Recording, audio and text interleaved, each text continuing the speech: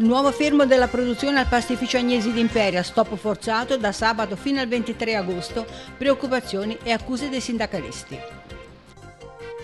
Il vicepresidente della regione, assessore Sonia Viale, punta il dito contro il governo per i nuovi tagli alla sanità, previsti 2 milioni di euro in meno.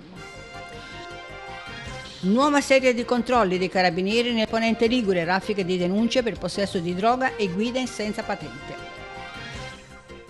Preoccupazione a Genova per il futuro dei centri per l'impiego a causa della mancanza di risorse e le rassicurazioni della Regione. Il neocommissario della Camera di Commercio di Imperio Franco Amadeo delinea il lavoro in vista del nuovo ente unificato con Savone Spezia. Ci sentiamo tra poco tanta notizie su Imperia TV.